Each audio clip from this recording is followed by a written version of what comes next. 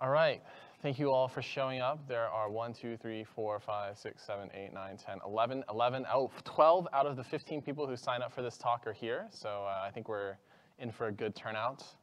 Um, so yeah, my name is Yujian Tang. I'm going to be talking to you about Milvus and some of his use cases, particularly in uh, terms of scaling and for GenAI. So um, before, so my name, yeah, so my name is Yujian. Uh, I'm a senior developer advocate at Zilliz. That little QR code will get you to my LinkedIn where you can uh, scan it and ask me any questions you might have later. Uh, those are my other links. Um, before we get into this talk, um, just a show of hands, who here has heard of vector databases? You've heard of vector databases. Not a lot of people, okay. What about you've used a vector database, okay? Two, three, a few of you have used a vector database. One of you raised your hand for use but not heard of, okay? Um, and what about knows the internal workings of a vector database? You know how to create your own vector database, okay? Who knows how to create their own vector database? Okay, well, you're gonna learn about some of that today, so hopefully everyone's gonna get something out of this talk. So in this talk, I'm gonna be talking about four things primarily. Uh, we're gonna start with why vector databases, why do you even need a vector database? Uh, how do vector databases work? Um, what are some of the use cases for vector database, both in GenAI and outside of GenAI? And then we're going to get into the architecture. Uh, what is actually powering Milvus, which is a distributed vector database?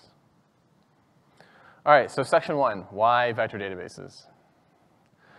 Basically, you use vector databases if you want to compare data that you couldn't compare before, right? So uh, show of hands, everyone's familiar with tabular data, SQL, Re re relational databases, everybody's familiar with that? Okay. Uh, text search, keyword search, everyone's heard of that? Okay, cool. So vector databases basically power the next level, right? So semantic search is the idea behind vector databases. And the real reason that you would use a vector database, or you know, why is it these are popular, is because um, unstructured data is everywhere, right? So there's a bunch of structured data, SQL, relational databases that you know, we've all been working with for years and years, and you know, we're trying to get you know, value out of it. But most data that businesses work with is unstructured data. Pictures, videos, audio, reviews, things like that. DNA, these are all unstructured data. And having uh, a way to quantify and compare unstructured data is the value add of using a vector database. So what is a vector? Um, who here knows what a neural network is? Neural networks, okay? Most people are familiar with neural networks. So what happens is if you have a deep neural network, this neural network will learn the representations of the data that goes into that network. And each layer of the network will learn something about that data. And as you go through, as the data goes through, at the end, the network will spit out some sort of guess, some sort of prediction, some sort of regression, classification on what that data is, what it means. And so what a vector is, is what we're gonna do is we're gonna take that last layer and we're gonna cut it off. So now we have the output from the second to last layer of a neural network. Uh, now, in, this is not always the case, for example, in variational autoencoders, you would take the middle layer. Um, but in uh, typical neural network fashion, you take the second to last layer and that second to last layer has all of the semantic meaning that that network has learned about your data encoded in that vector. And so that's what a vector is. And you put that vector into a vector database like Zilliz or Milvus. So the way that you get a vector embedding is you take your data, any sort of data, images, PDFs, audio, video, whatever, and you put it into a vector, and you put it into a neural network, but you cut off the last layer, so you take the output from the second to last layer and you put it into a vector database. So let's do a exercise. This is an interactive talk in case you haven't noticed. And the exercise we're going to do today is we're going to be a vector database, okay? So here are three sentences up here. And what I'm going to ask you to do is I'm going to ask you to raise your hand for the sentence that uh, is the least semantically similar to the other two. Okay, so first I'm going to read the sentences. Apple made profits of 97 billion in 2023. I like to eat apple pie for profit in 2023. Adam's, Apple's bottom line increased by record numbers in 2023. Okay? So these three are the, are the sentences we're going to look at, and I want you to raise your hand if you think that the first sentence is the one that is the most different from the other ones. Okay, what about the second sentence? Okay, I should, okay, I should see everyone's hands go up. Good. Third sentence? No, okay. So as humans, we kind of automatically understand that this third sentence about eating apple pie for profit doesn't seem to make sense. It doesn't fit in with the other two. But if you were to do keyword search and you were to look at profit and apple in 2023, you would actually get the first two sentences back before you get the third one because the third one doesn't include the word profit. Um, but in reality, we understand that the first and the third sentence are the ones that are the most similar, okay? So now let's take another example. We're gonna, one more exercise on being a vector database. So up here, I've got some pictures of a very, very famous celebrity, um, one of my favorite celebrities. So I would like you to raise your hand for the one that is the odd one out, the one that is not Taylor Swift, okay? So, you guys ready? Raise your hand if you think the first one is not Taylor Swift. Okay? Everyone thinks the first one is Taylor Swift. All right, raise your hand if you think the second one is not Taylor Swift. A few of you, okay, quite a few of you think the second one is not Taylor Swift. Raise your hand if you think the third one is not Taylor Swift. Okay, okay, there's some, there's some doubts here. Okay, what about the fourth one? Raise your hand if you think the fourth one is not Taylor Swift. Okay, so you guys all, it's between the second and the third. Okay, so I will tell you, those of you, most of you raise your hands on the second one, and that is the one that is not Taylor Swift. So clearly, this just shows, once again, as humans, we have some understanding, some ability to see these differences. And this is the internal driver. This is essentially what a vector database is doing. It's looking for similarities between data. And so we've just done two exercises where we've acted as a vector database. So let's get into more of what this is, what's actually going on underneath the surface. What's the math? The idea behind this stuff is that you're going to use math to quantify these relationships between entities. And now we're going to go and we're going to look at how vector databases work. Okay, so vector similarity, uh, the what, how we measure the similarity between these differences of data is a mathematical measure of how close two vectors are. So this is semantic similarity. This is basically what we're measuring. And this slide is, uh, this picture is a very famous picture from uh, NLP. If you guys have you know, been in the NLP field, you probably recognize this. Essentially what this slide is showing is that if you take the words, uh, if you take the word uh, queen and you subtract the meaning of the word woman and you add the meaning of the word man, you get the word king. So really the only takeaway you need from this slide is you can do math on things that aren't originally numbers using vector embeddings. But let's walk through some of this math here so we can get some sort of understanding of this, right? So, oh, one more thing before we get into this, I do think it's really, really important to make a note here. Queen and woman and king and man both have the same value on the first dimension, on the x-axis there. But that doesn't tell us anything about what that dimension means.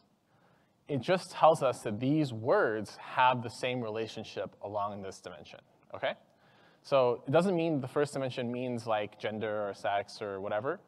It just means that these two words that share this value on that first dimension have the same meaning along that dimension, okay? So let's get into a little bit of the math, right? So queen is 0.3 comma 0.9, and we're subtracting woman, which is 0.3 comma 0.4, and we end up with 0 comma 0.5. So this is the word, whatever this vector is, this corresponds to the word that is going to be the difference between queen and woman. And now once we add the word man, which is 0.5 comma 0.2, we will get 0.5 comma 0.7, which corresponds to king. So once again, the takeaway from this slide is basically vector embeddings allow you to do math on things that were not originally numbers. However, I will say in production, you will never see two-dimensional vectors, and you will never see Manhattan distance. This is just an illustration. So let's look at the ways that you can measure similarity, okay?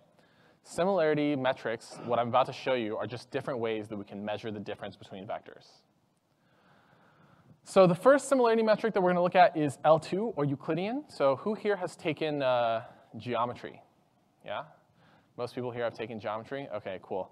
Um, so this is very reminiscent of a very famous geometry formula, uh, you know, the uh, hypotenuse, right? Um, basically the difference here, a squared minus b squared kind of. So it's a1 minus a2 uh, squared plus b1 minus b2 squared, and then we basically get a hypotenuse, a distance in space.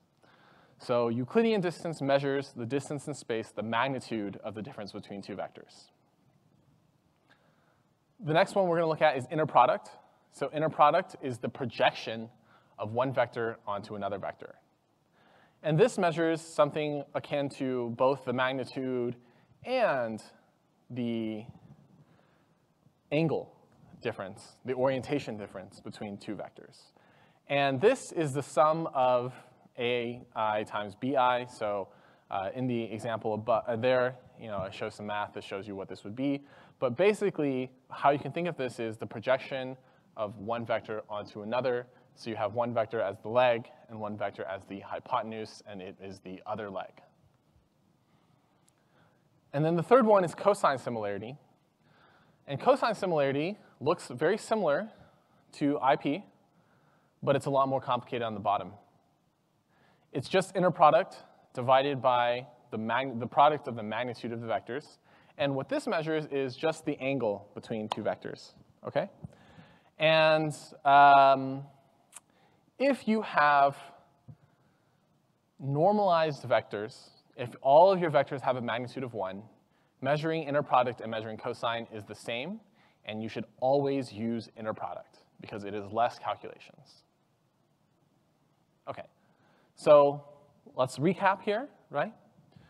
Euclidean, Euclidean distance is used if you want the magnitude, the spatial distance between two vectors. Cosine is if you want the difference in orientation between two vectors. An inner product will give you some combination of both. And if you are working with normalized vectors, you should use inner product over cosine.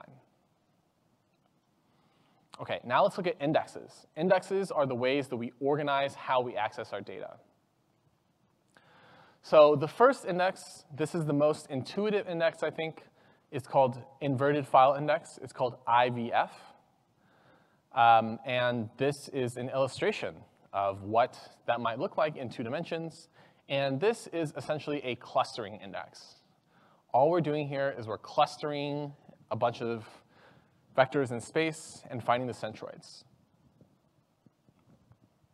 At search time, what you do is you search the you find the closest number, closest centroids. You pick a number, maybe like three, you find the closest three centroids to your search vector, and then you go into those centroids, into the, the, the I guess, the relative space, the, the vectors that are inside of those areas that are related to those centroids, and then you find the closest vectors to your vector from those centroids.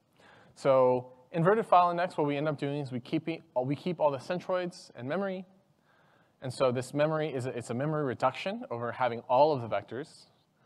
And then what happens is when we search only a subset of the vectors, so uh, the search accuracy may not be 100% because you might miss some if you have a lot of uh, centroids and you're only searching like uh, you know one one percent of them. You might miss some, but uh, the trade-off there is that it's faster and it takes less memory and it's relatively accurate.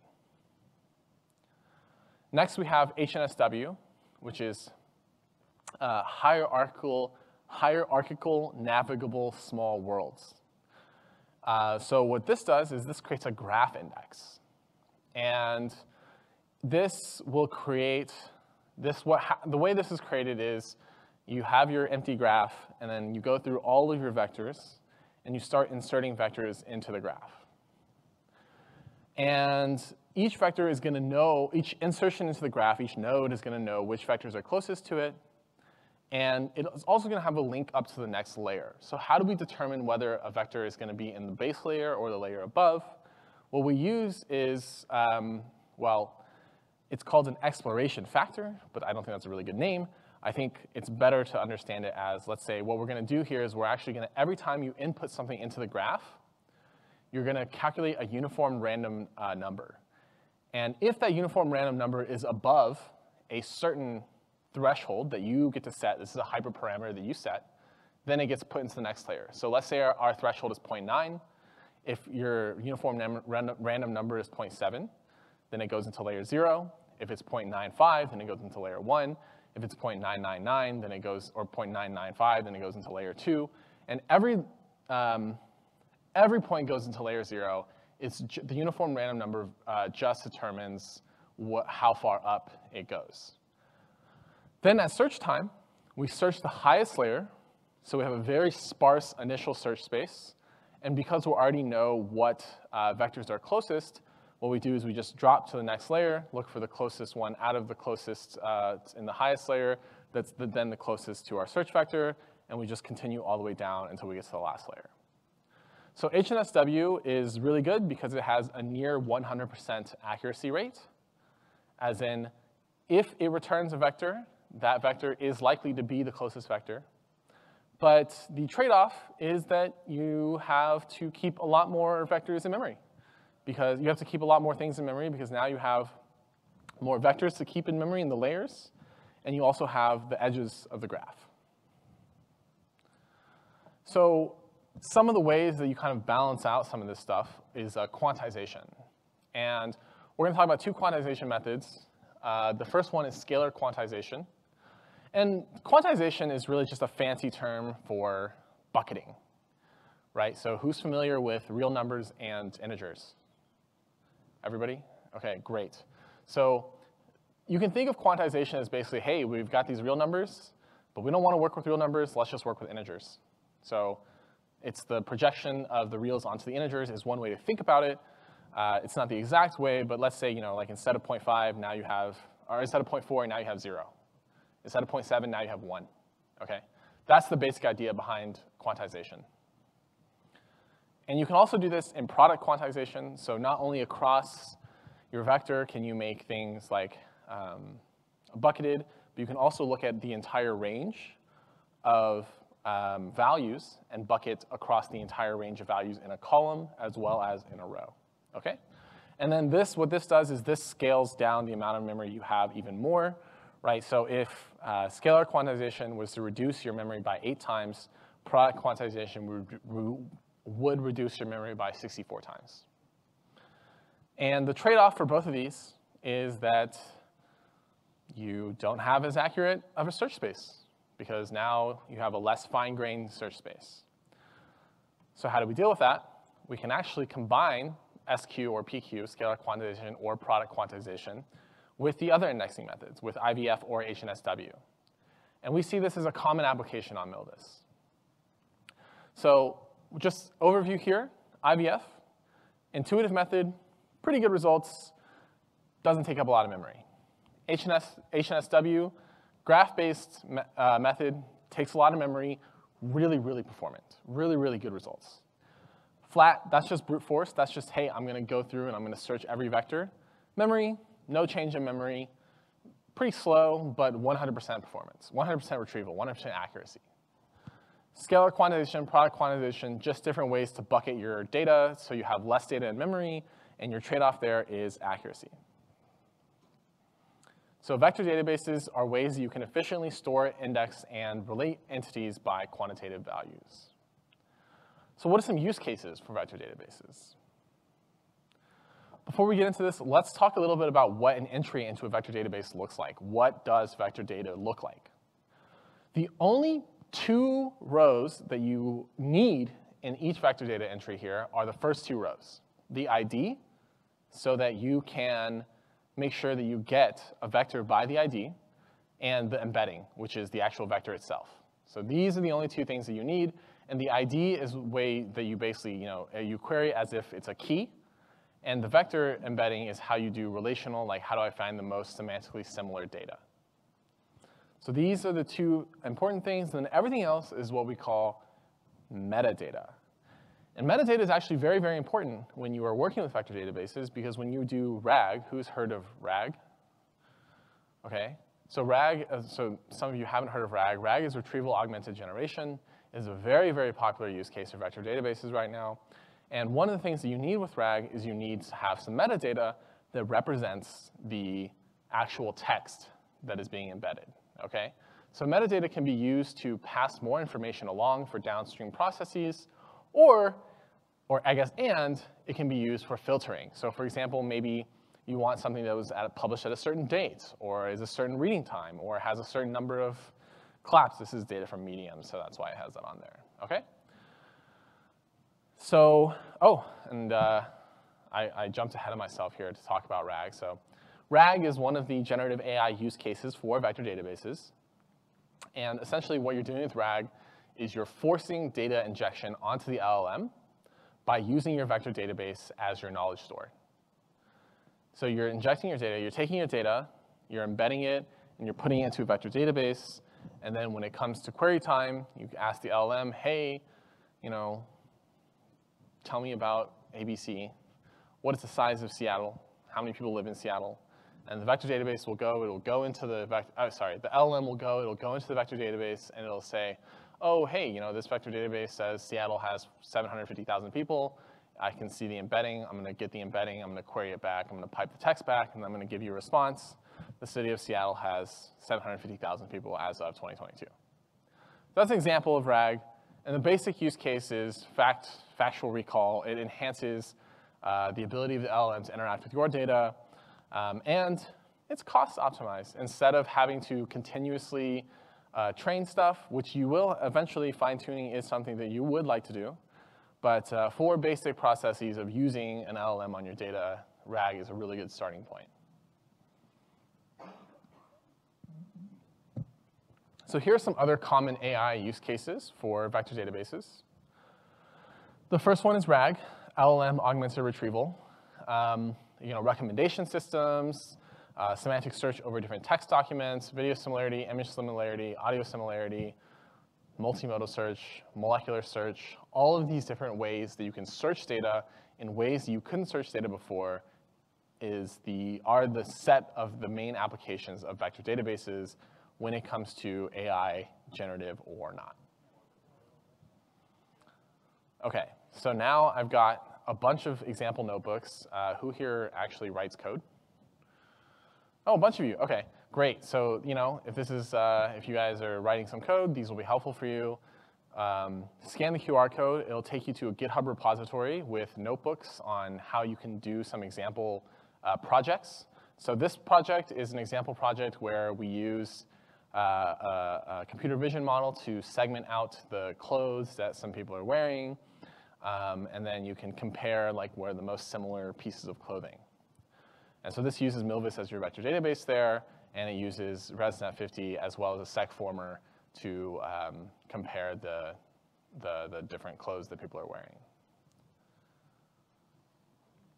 This one, very similar, except instead of using a SegFormer, we're using ResNet50 to compare different art pieces. So this has a bunch of Renaissance artists, and uh, I've also thrown a bunch of paintings by Salvador Dali in here. You see these two paintings by Salvador Dali, as well as, I believe that's the Sea of Galilee um, up there. Um, and this is another image recognition use case, uh, image recognition notebook, and you can use as a practice notebook to play around with vector databases. And now we have a text one. Of course, RAG is primarily done through text right now, although I do have a course coming up on how to do multimodal RAG with LinkedIn.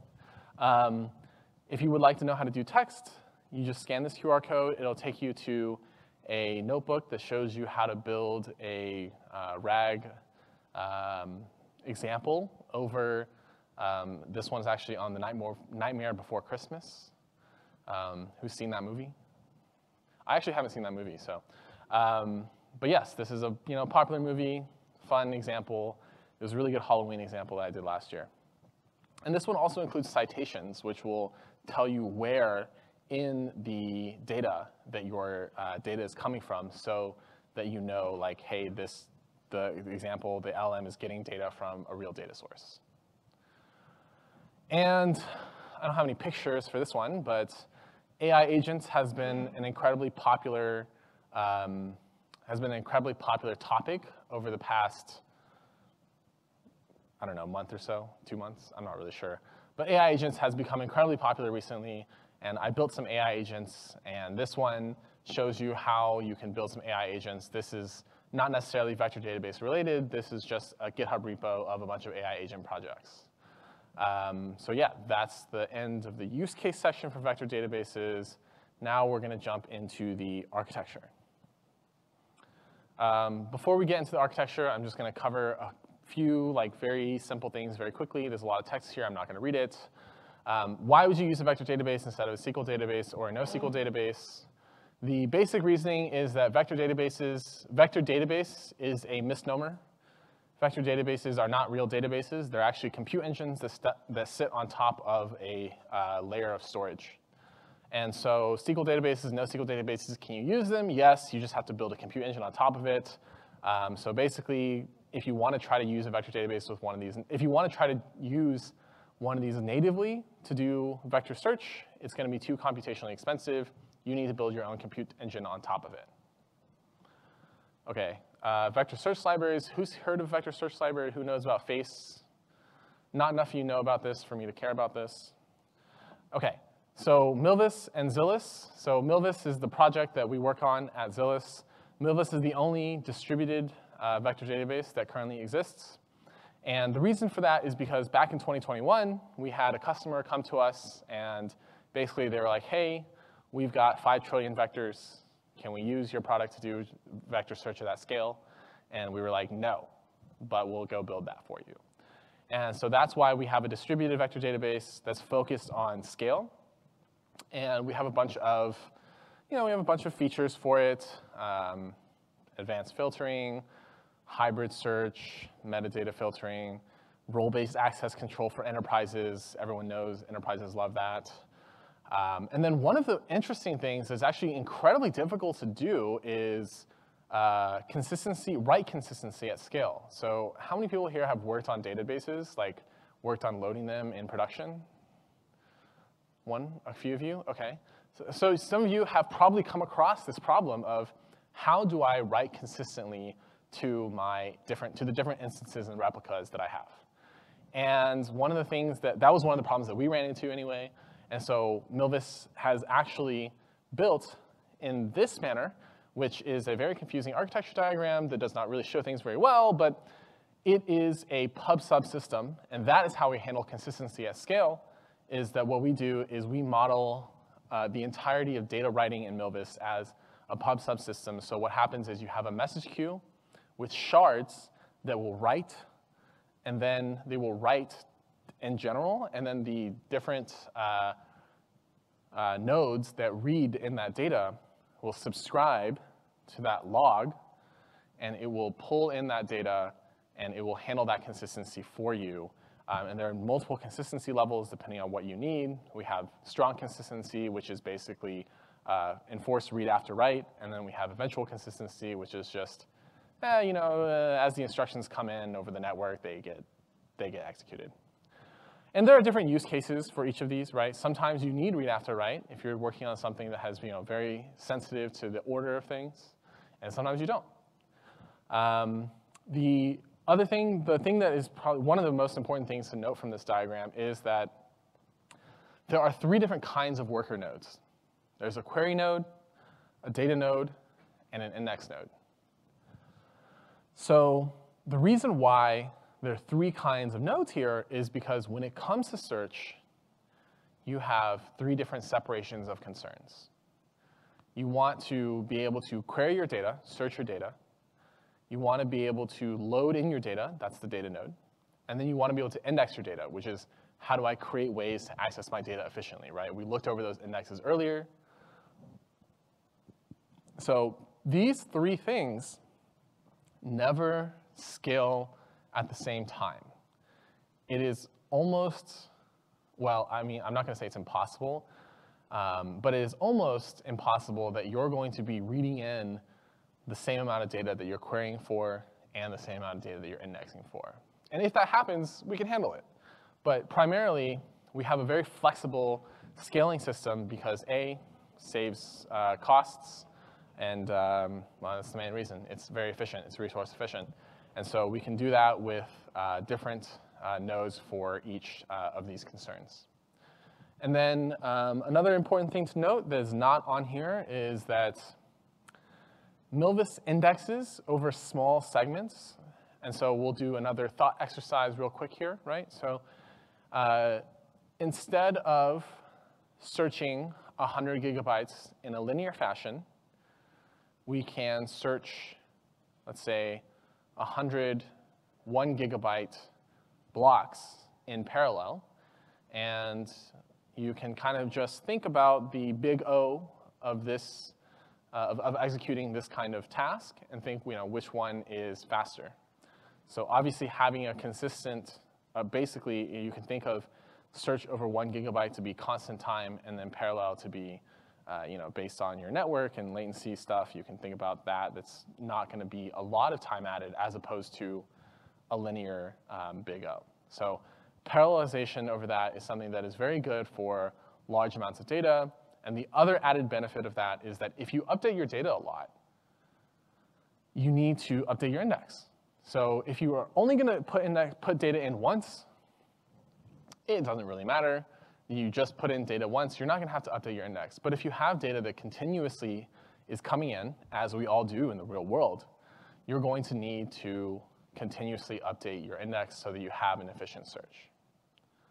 So that's pretty much it. Uh, if you want to get started with Zilliz Cloud, get started with Zilliz Cloud. Otherwise, that's the end of my talk, and I can take some questions.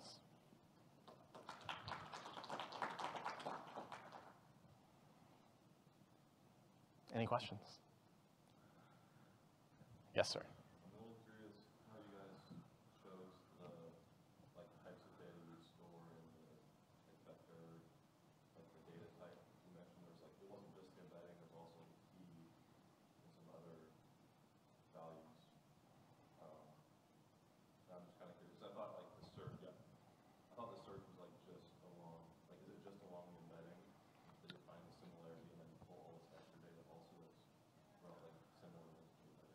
You can pull the, you can specify what extra data you want to pull, but the reason why we have the ID, you have to have the ID, is because you have no other way of deleting data.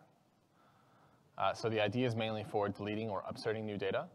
And then actually Milvus has recently added multi, multi, uh, multi-vector search. So now you can have different embeddings. You can create different indexes over different embeddings to do that search. Um, but the reason why we have this is because it is just more effective to be able to access all your data in one place rather than having to map let's say, like in, you know, you know, if you think about SQL databases in like normal form, instead of having to, you know, get your embedding and then map your normal form based on your ID to another place, it's just more effective to have everything stored in one place. Kind of like NoSQL, right? That's kind of like the idea behind that.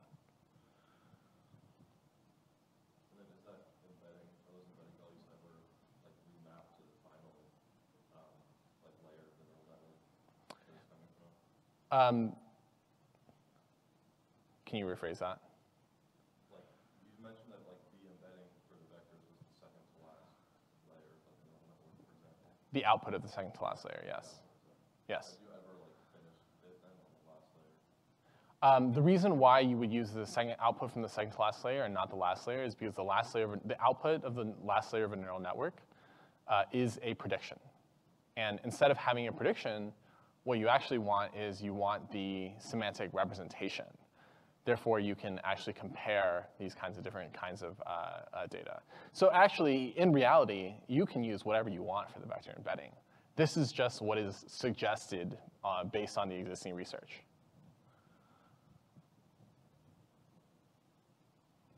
Yes?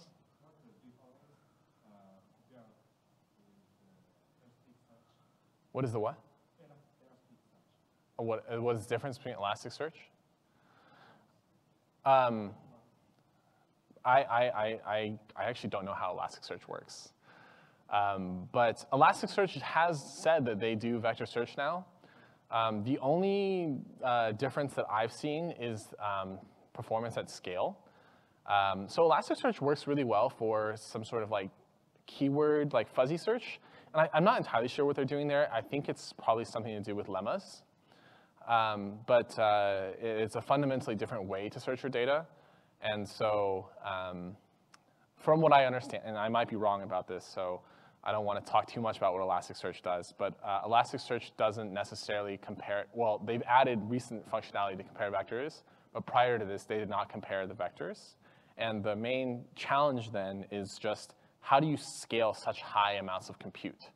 Um, and so Milvus has always been uh, a, a, vector native vector database. Um, and so it does something slightly different uh, underneath the surface.